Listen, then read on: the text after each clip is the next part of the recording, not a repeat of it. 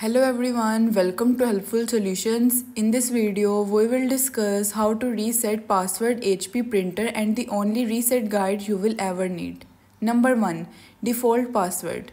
Many HP printers use 1, 2, 3, 4, 5, 6, 7, 8 as the default password. Number 2. Restore network defaults. If the default password doesn't work, reset the printer's network settings. Press and hold the wireless and cancel button simultaneously for about 3 seconds until the network settings reset. This action will erase all network configurations including passwords. Number 3. Access embedded web server. After resetting, reconnect your printer to the network. Obtain the printer's IP address usually found in the printer network settings or by printing a network configuration page. Enter the IP address into a web browser to access the printer's EWS.